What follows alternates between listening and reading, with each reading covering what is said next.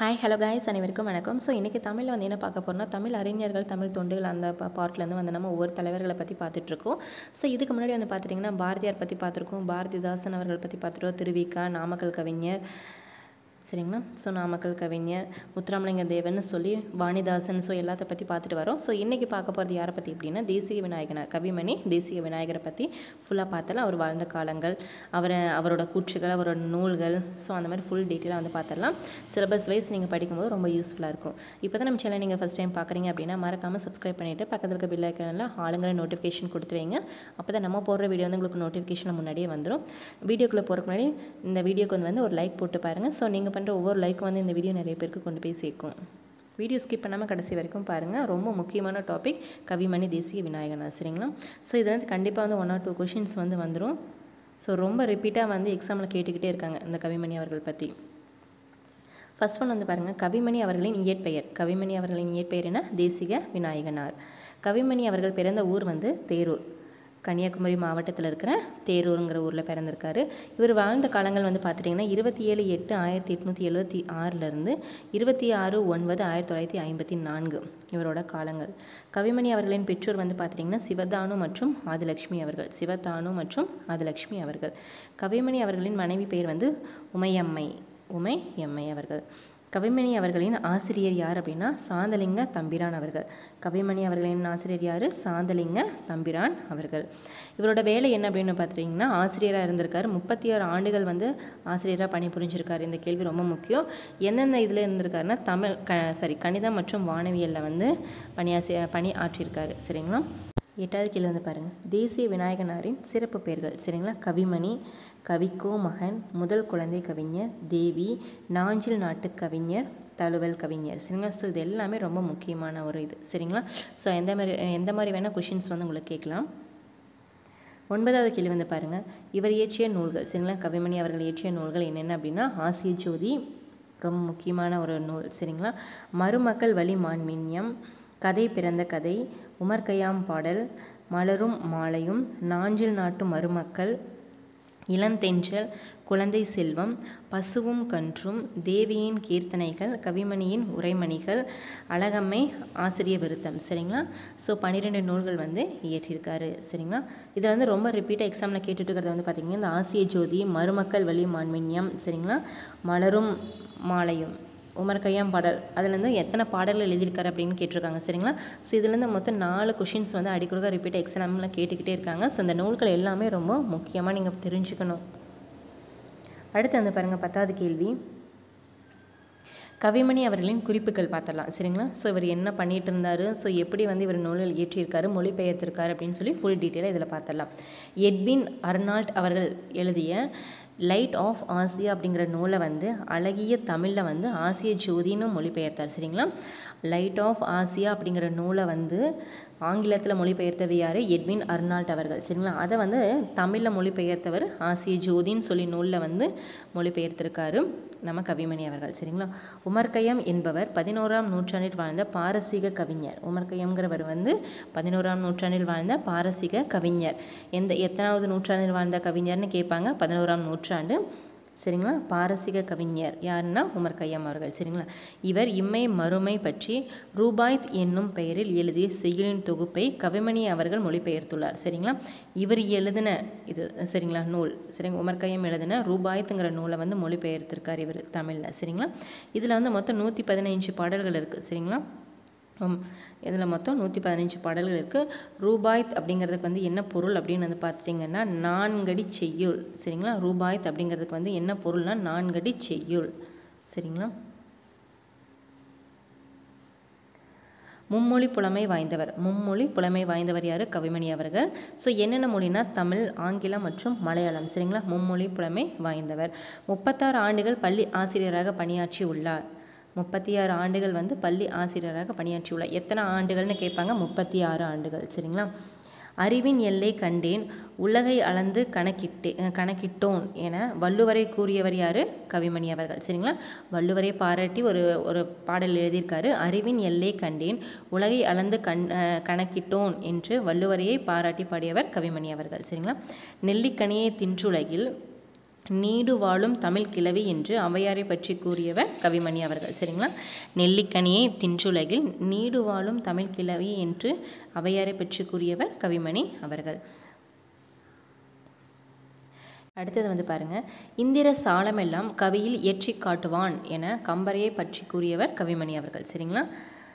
Next வந்து பாருங்கள் பாட்டை கேட்டு கிறுகிறுத்து போனையடா அந்த கிறுக்கில் உளரும் ஒரு பொட்பாயடா என்று பாரதியாரை போற்றி பாடியவர் கவிமணி அவர்கள். சரிங்களா? நெக்ஸ்ட் வந்து பாருங்கள் கவிமணி அவர்களின் கவிதைகளை வந்து உலகறிய செய்தவர்கள் யார் அப்படின்னு வந்து பார்த்துட்டிங்கன்னா எஸ். வையாபுரி பிள்ளை அவர்கள் மற்றும் ரசிகமணி டி. கேசி அவர்கள். சரிங்களா? இவரோட கவிதைகள் எல்லாம் வந்து உலகம் உலகம் அறிய செய்தவர்கள் இவங்க தான். சரிங்களா? அடுத்து வந்து பாருங்கள் பன்னிரெண்டாவது கேள்வி. கவிமணி என்னும் பட்டம் கொடுத்தவர் யாருன்னா தமிழ்வேல் உமா மகேஸ்வர். சரிங்களா? உமா மகேஸ்வரர். எப்போ அப்படின்னு ஆயிரத்தி தொள்ளாயிரத்தி நாற்பதில் வந்து கொடுத்துருக்காங்க. சென்னை மாகா மாகாண தமிழ் சங்கத்தில் வந்து நடைபெற்ற இது மாநாட்டில் வந்து தமிழ்வேல் உமா மகேஸ்வரர் அவர்கள் வந்து ஆயிரத்தி தொள்ளாயிரத்தி நாற்பதாம் ஆண்டு க தேசிய விநாயகனாருக்கு வந்து கவிமணி அப்படிங்கிற பட்டத்தை வந்து கொடுத்துருக்காங்க. பதிமூணாவது கேள்வி. கவிமணி அவர்களை பாராட்டியவர்கள். சரிங்களா? ஸோ பாடல்கள் பாடி பாராட்டியிருப்பாங்களா ஸோ என்னென்ன பாடல்கள் அப்படின்னு பார்த்தால யார் யார் எழுதியிருக்காங்க அப்படின்னு பார்த்தால சரிங்களா? தேசிய விநாயகத்தின் கவி பெருமை தினமும் கேட்பது என் செவி பெருமை என்று கூறியவர் நாமக்கல் கவிஞர். சரிங்களா? கவி தேசிய விநாயகத்தின் அவர்களோட கவி பெருமையை வந்து தினமும் கேட்பது என் செவி பெருமைன்னு கூறியிருக்காரு நாமக்கல் கவிஞர்.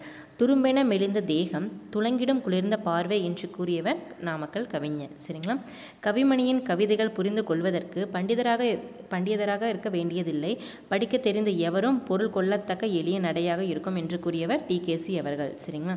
தமிழ் மக்களுக்கு கிடைத்த பெருஞ்செல்வம் அரிய செல்வம் தெவிட்டாத அமிர்தம் என்று கூறியவர் டி. கேசி அவர்கள். அடுத்து வந்து பாருங்க. பதினான்கு. கவிமணி அவர்களின் சிறப்புகள் என்னென்ன அப்படின்னு வந்து பார்த்தலாம்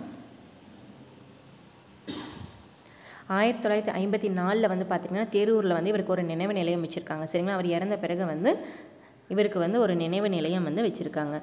ரெண்டாயிரத்தி அஞ்சில் வந்து பார்த்தீங்கன்னா இவருக்கு வந்து அஞ்சல் தலை வெடி வெளியிட்டிருக்காங்க. சரிங்களா? கவிமணி அவர்களுக்கு வந்து அஞ்சல் தலை வெளியிட்ட ஆண்டு எப்போ அப்படின்னு கேட்டாங்கன்னா ரெண்டாயிரத்தி அஞ்சில். அடுத்து வந்து முக்கிய மேற்கோள்கள். கவிமணி அவர்களின் முக்கிய மேற்கோள்கள் என்னென்ன அப்படின்னு வந்து பார்த்தலாம் சரிங்களா?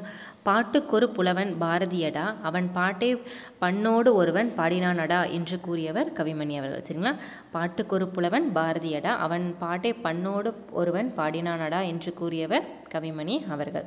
மங்கையராய் பிறப்பதற்கே நல்ல மாதவம் செய்திட வேண்டுமாம்மா என்று கூறியவர் கவிமணி அவர்கள். ரொம்ப முக்கியமான கூற்று இது. சரிங்களா? மங்கையராய் பிறப்பதற்கே நல்ல மாதவம் செய்திட வேண்டுமம்மா என்று கூறியவர் கவிமணி தேசிய விநாயகனா. சரிங்களா? கல்லை பிசைந்து கனியாக்கும் செந்தமிழின் சொல்லி மணியாக தொடுத்தவனும் நீதானே என்று கூறியவர் கவிமணி அவர்கள். கல்லை பிசைந்து கனியாக்கும் செந்தமிழின் சொல்லி மணியாக தொடுத்தவனும் நீதானே என்று கூறியவர் கவிமணி அவர்கள். ஓடும் உதிரத்தில் வழிந்தோடும் கண்ணீரில் தேடி பார்த்தாலும் சாதி தெரிவதுண்டோ? என்று கூறியவர் கவிமணி அவர்கள். சரிங்களா? ஓடும் உதிரத்தில் வழிந்தோடும் கண்ணீரில் தேடி பார்த்தாலும் சாதி தெரிவதுண்டோ? என்று கூறியவர் கவிமணி அவர்கள். லாஸ்ட் ஒன் தோட்டத்தில் மேயுது வெள்ளை பசு அங்கே துள்ளி குதிக்குது கன்றுக்குட்டி என்று கூறியவர் கவிமணி அவர்கள். இது ரொம்ப முக்கியம். சரிங்களா?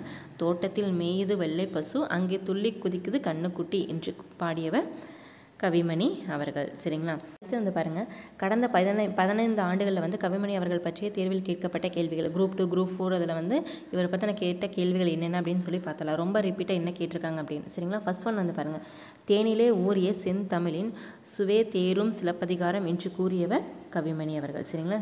தேனிலே ஊறிய செந்தமிழின் சுவே தேரும் சிலப்பதிகாரம் என்று கூறியவர் கவிமணி அவர்கள். சரிங்களா?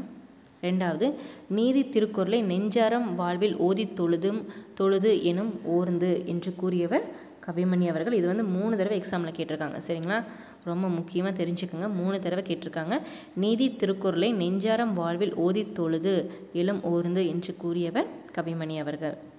மூணாவது கேள்வி சாலைகளில் பல தொழில்கள் பெருக வேண்டும் சபைகளிலே தமிழொழுந்து முழங்க வேண்டும் என்ற பாடல் வரியை இயற்றியவர் கவிமணி அவர்கள். சரிங்களா? சாலைகளில் பல தொழில்கள் பெருக வேண்டும். சபைகளிலே தமிழ் எழு தமிழ் எழுந்து முழங்க வேண்டும் என்று பாடல் வரியை இயற்றியவர் கவிமணி அவர்கள். நாலாவது கேள்வி. நாடக சாலை யுத்த நற்கலாசாலை ஒன்று நீடுலகில் உண்டோ? நிகழ்த்து. இது வந்து யாருடைய கூற்றுன்னு கேட்குறாங்க கவிமணி அவர்களின் கூற்று. அடுத்து வந்து பாருங்க. கவிமணி என்ற சொல்லால் போற்றப்படுபவர் தேசிய விநாயகம் பிள்ளை. சரிங்களா? ரொம்ப முக்கியமான கேள்வி. அடுத்து வந்து பாருங்கள் பொறுத்துக சரிங்களா? ஸோ இந்த மாதிரி தான் நான் சொல்லியிருந்தேன் இந்த மாதிரி இந்த சைடு வந்து கூற்றுக கொடுத்து இந்த சைடு வந்து யார் எழுதியிருக்காங்க அப்படின்னு கேட்பாங்க. சரிங்களா? மேற்கோள்கள் கூற்றுகள் சிறப்பு பெயர்கள். ஸோ எந்த மாதிரி வேணால் வந்து பொறுத்துகளை கேட்குறக்கு சான்சஸ் அதிகமாக இருக்குது இந்த மாதிரி கேட்குறக்கு வாய்ப்புகள் அதிகமாக இருக்குது இது எக்ஸாமில் கேட்டிருக்காங்க. சரிங்களா? எங்கள் பகைவர் எங்கோ மறைந்தார். என்பது யாருடைய யாருடைய கூற்றுனா? பாரதிதாசன் சொன்னது சரிங்களா? பாட்டாளி மக்களது பசி தீர வேண்டும் என்று சொன்னவர் நாமக்கல் கவிஞர். எல்லாரும் எல்லாமும் பெற வேண்டும்னு சொன்னவர் கண்ணதாசன் அவர்கள் சரிங்களா? சபைகளிலே தமிழ் எழுந்து முழங்க வேண்டும் சொன்னவர் கவிமணி அவர்கள் சரிங்களா?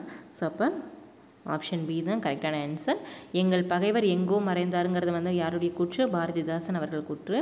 பாட்டாளி மக்களது பசி தீர வேண்டும் சொன்னவர் நாமக்கல் கவிஞர். எல்லாரும் எல்லாமும் பெற வேண்டும் சொன்னவர் வந்து கண்ணதாசன் அவர்கள். சபைகளிலே தமிழ் எழுந்து முழங்க வேண்டும் சொன்னவர் கவிமணி அவர்கள். அடுத்து ஏழாவது கேள்வி பாருங்கள் ரொம்ப முக்கியமான கேள்வி. எக்ஸாமில் வந்து ரெண்டு தடவை கேட்டிருக்காங்க. சரிங்களா? ரூபாய் என்பதன் பொருள் வந்து நான்கடி செய்யுள். ரூபாய்த்துங்கிறது வந்து நான்கடி செய்யுள்னு பொருள். சரிங்களா? எட்டாவது மருமக்கள் வழி மான்மின்யம் என்ற நூலின் ஆசிரியர் யாருன்னா கவிமணி அவர்கள். இது வந்து மூணு தடவை எக்ஸாமில் கேட்டிருக்காங்க. ரொம்ப முக்கியமான கேள்வி.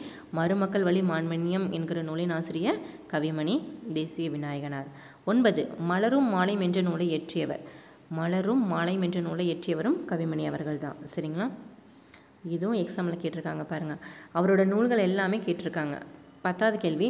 உமர் கையாம் பாடலில் எத்தனை பாடல்கள் உண்டு? சரிங்களா? எத்தனை பாடல்கள் உண்டு? நூற்றி பதினைந்து பாடல்கள். உமர் கையாம் பாடலில் வந்து எத்தனை பாடல்கள் உண்டு? நூற்றி பதினைந்து பாடல்கள். பதினோராவது கேள்வி. உமர் கையம் எந்த நூற்றாண்டில் வாழ்ந்த பாரசீக கவிஞர்? நம்ம சொன்னால் இந்த கேள்வி கேட்பாங்கன்னு எக்ஸாமில் உமர் கையம் எந்த நூற்றாண்டில் வாழ்ந்த பாரசீக கவிஞர்னா பதினோராம் நூற்றாண்டில் வாழ்ந்தவர். சரிங்களா? பன்னிரெண்டாவது கேள்வி வந்து பாருங்கள் மங்கையராய் பிறப்பதற்கே நல்ல மாதவம் செய்திடல் வேண்டுமாம்மா என்று கூறியவர் கவிமணி அவர்கள். சரிங்களா? மங்கையராய் பிறப்பதற்கே நல்ல மாதவம் செய்திடல் வேண்டுமாம்மா என்பது யாருடைய கூற்று?